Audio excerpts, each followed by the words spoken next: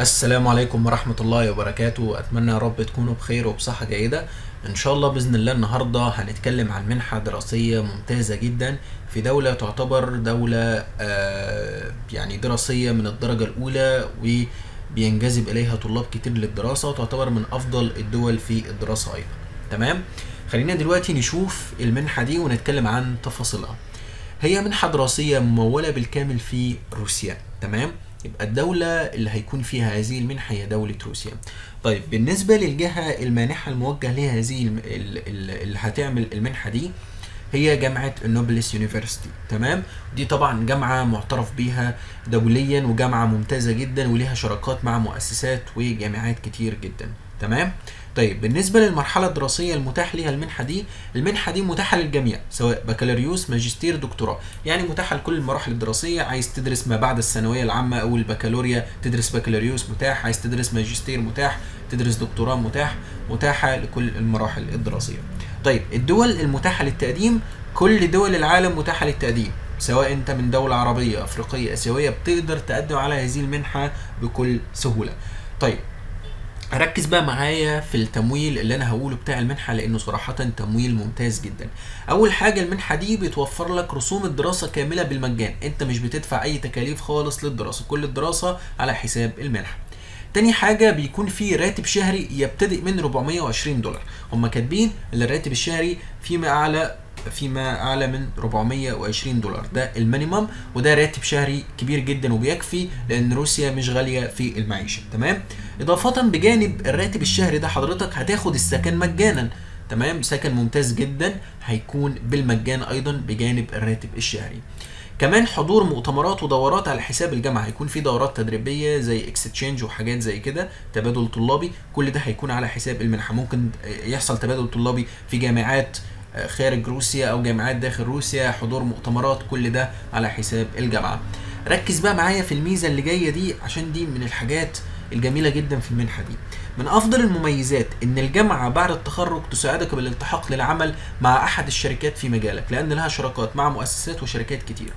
تمام؟ الجامعة دي يعني بنسبة 90% كل الطلاب اللي بيتخرجوا منها هي بتساعدهم على العمل وهي اللي بتوفر لهم العمل. وده مكتوب في الموقع الرسمي إنها بتساعد على الامبلويمنت أو التوظيف بعد التخرج. يعني أنت حضرتك بتدرس وبتضمن لنفسك كمان بعد الدراسة إنك تشتغل في شركة في المجال اللي أنت اتخرجت منه من الجامعة. تمام كده؟ طيب تعالى بقى نشوف التخصصات المتاحة في المنحة دي. دي التخصصات أول حاجة عندنا بكالوريوس في علوم الكمبيوتر. تخصص آه، آه، تخ- يعني مرحلة البكالوريوس فيها تخصص واحد فقط هو علوم الكمبيوتر. طبعا أنت آه، لو لسه بتدرس في آخر سنة من الثانوية العامة أو خلصت ثانوية عامة أو بكالوريا بتقدر تقدم عادي جدا على تخصص علوم الكمبيوتر. تمام؟ آه عندنا تخصصات الماجستير أكتر شوية. عندنا ماجستير في هندسة البرمجيات ماجستير في تحليل البيانات والذكاء الاصطناعي ماجستير في الأمن وهندسة الشبكات ماجستير في الروبوتات ورؤية الكمبيوتر وعندنا تخصص واحد دكتوراه في علوم الكمبيوتر. تمام؟ دي التخصصات فقط المتاحة في هذه المنحة. طيب هنا في ملاحظة عندنا إن المنحة دي ليس بها حد أقصى العمر للتقديم. مفيش ماكسيمم للعمر بتقدر تقدم عليها من أي سن.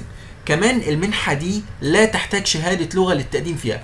الدراسة في الجامعة دي يا جماعة باللغة الإنجليزية. تمام؟ ولكن الجامعة دي مش محتاجة منك لا شهادة لغة إنجليزية ولا حتى شهادة لغة روسية. تمام كده؟ وهنشوف بعد شوية إزاي ممكن الجامعة دي آه، آه، يعني هتقدر تثبت فيها لغتك بدون الاحتياج لشهادة. تمام كده؟ طيب الأوراق المطلوبة بقى للتقديم في المنحة دي. الأوراق المطلوبة أول حاجة ملء ال application online عندنا application online لازم يتم ملئه داخل ال application ده حضرتك لازم ترفق السيرة الذاتية بتاعتك ال CV بتاعك الإجابة على مقالات النية عندنا كذا مقال نية طبعا مقالات طويلة شوية ولكن لازم تجاوب عليها. كمان تحط الصورة الشخصية ليك وفي حاجة بقى عندنا الإجابة على الاختبارات داخل ال application في داخل الابلكيشن ثلاث اختبارات وهنشوف الاختبارات دي بعد شوية وإزاي بتمشي. تمام كده؟ طيب آخر موعد للتقديم في المنحة دي هو 1 مايو 2021 والدراسة بتبدأ في سبتمبر 2021 تمام كده؟ طيب كمان في ملاحظة هنا عندنا ما تنسوش إن قناتنا قناة منح من كل الألوان بتوفر خدمات إضافية زي خدمة التقديم بشكل احترافي لأي فرصة ومنحة أنت عايزها. لو عايز تقدم من خلالنا على هذه المنحة متاح خدمة تجهيز الأوراق بشكل احترافي بتستخدمها في التقديم لأي منحة بنفسك وخدمة التقديم في الكورسات للحصول على شهادات آه، تأهلك لتزويد فرص قبولك في المنح والعمل. تمام كده. ولو عايز أي خدمة من هذه الخدمات هتلاقي رابط استمارة كل خدمة في صندوق الوصف أسفل الفيديو. بتملأه وبنتواصل معاك وبنرتب معاك كل شيء للتقديم ليك. طيب هنا عندنا الإعلان الرسمي للمنحة وابلكيشن التقديم. تعال نشوف الإعلان الرسمي للمنحة اللي فيه كافة التفاصيل. تمام؟ هنا هتلاقي طبعا هو ال- المنحة موضحة يعني ال funding بتاعها والتمويل بتاعها. على حسب طبعا كل مرحلة دراسية. تمام؟ هتلاقي هنا حاجة اسمها ال educational scholarships تمام؟ تضغط عليها. هيفتح معاك الصفحة الخاصة بالتمويل بيقول لك إن في حاجة اسمها ال monthly monthly allowance اللي هو الراتب الشهري هتروح ما بين فيما أعلى من 420 دولار. آه، التخصصات المتاحة كل هذه الأشياء آه، حتة التوظيف بعد الدراسة كل الأشياء دي هتلاقيها متاحة. تمام كده؟ طيب. خلينا دلوقتي نشوف بقى application التقديم. هتيجي حضرتك تضغط على كلمة قدم الآن دي عشان يفتح معاك application التقديم. تمام؟ application التقديم هيظهر لك بالشكل ده. حضرتك كأول مرة بتفتح فيها الموقع ما عندكش account أو ما عندكش حساب على موقع المنحة. بتعمل إيه؟ بتبدأ إن أنت تنشئ الحساب الأول. تحط اسمك هنا اسم آه تحط اسمك بال- اسمك بالكامل. تحط رقم الهاتف بتاعك تحط الإيميل بتاعك تحط باسورد تختار هنا التخصص. تخصصات اهي. تمام دي التخصصات اللي إحنا كنا شرحناها آه، بكالوريوس ماجستير دكتوراه. تمام كده؟ وبتقول انت سمعت عن المنحة دي إزاي؟ من قناة من يوتيوب مثلا من الفيسبوك. وبتختار ال- الدولة اللي انت منها. تمام؟ وبتضغط I'm not robot تمام؟ وبعد كده بتضغط registration تمام كده؟ طيب بعد لما بتعمل ال registration بتاخد بقى بياناتك وبتروح لقسم ال login تمام؟ تحط الإيميل بتاعك هنا تحط ال password بتاعك أنا هكتب ال password اللي أنا عامله تمام؟ واضغط على دي. هيفتح معايا دلوقتي ال application بتاعي تمام؟ ده ال application بتاعي. أول حاجة بقى حضرتك هتلاقي كده ال section هنا للأب في ال application. أول حاجة حاجة اسمها tests تمام؟ بتضغط عليها. في الجزء ده بقى الجزء ده من أهم الأجزاء. ليه؟ لأن هنا محطوط لك ثلاث اختبارات. عاملين كده زي quiz تمام؟ طيب الاختبار الأول حاجة اسمها عن ال computer science test. تمام؟ بتضغط start هنا وبتخش لل test ده. بتقدر إنك تكمله في أي وقت ال test ده. تمام؟ ال test ده فيه حوالي ست أسئلة. تمام؟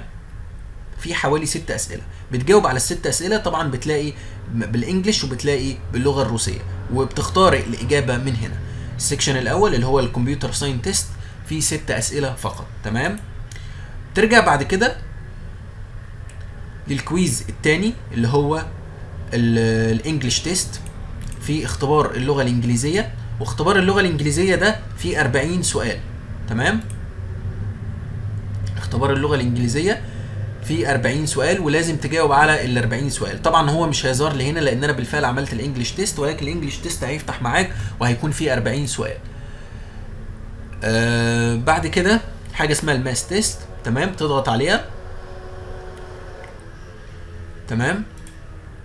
وبرضه هيظهر لك ال math test في عدة أسئلة لازم تجاوب عليها. تمام كده؟ يبقى أنت لازم تجاوب على كل test من دول. ممكن ال test ده توقفه وترجع ليه في أي وقت مفيش مشكلة. تمام كده؟ طيب بعد لما بتعمل كل اختبار من الاختبارات دي بتروح لل application ال profile بتاعك سهل جدا وبسيط. التخصص اللي إحنا كنا اخترناه اسمي اللي أنا حطيته مثلا اسم العائلة تحط تاريخ ميلادك رقم تليفونك آه، بتحط دولة الإقامة الحالية تحط المدينة اللي أنت قاعد فيها تمام؟ بعد كده admission documents الأوراق المطلوبة إنك تحطها تمام؟ أول حاجة بتحط ال CV بتاعك أو portfolio تمام؟ هنا بتضغط على choose file وبتحط ال CV وهنا بقى ركز معايا عشان هنا دي مقالات النية. تجاوب على كل مقالة من المقالات دي بشكل كويس عشان دي من الأشياء المهمة في ال application تمام؟ بعد كده ال setting دي بقى خلاص يعني دي ما فيهاش حاجة غير بس إنك هتحط صورة الصورة الشخصية ليك. تضغط على choose file بتحط صورتك الشخصية فقط. ويبقى انت كده مليت ال application بنجاح وبتضغط على كلمة submit ويبقى انت كده ارسلت ال application للمنحة بنجاح. طبعا ال application مش صعب ولكن هو فيه ال tests دي الاختبارات وشوية موضوع مقالات النية هي اللي ممكن تكون صعبة في ال application لكن ال application سهل وبتبدأ وبتقدر انك تملاه آه، بسهولة وما فيهوش أشياء كتيرة قوي معقدة. تمام كده؟ طيب وكمان حابب أفكركم إن إحنا ممكن نقدر نساعدكم في التقديم بشكل احترافي على المنحة. لو حابين تقدموا من خلالنا ولو حابين تقدموا بنفسكم قدامكم الفيديو تقدروا تتابعوا ال- التفاصيل وتقدموا بنفسكم. تمام؟ يبقى إحنا كده شرحنا المنحة فيها مميزات كتيرة جدا تمويل ممتاز توظيف بعد التخرج كل ده من المميزات الجميلة اللي مش ممكن تلاقيها في أي منحة أخرى. فلو حابين تقدموا آخر ميعاد 1 مايو 2021 وإن شاء الله بإذن الله يكون بالتوفيق والقبول ليكم في هذه المنحة. والسلام عليكم ورحمة الله وبركاته.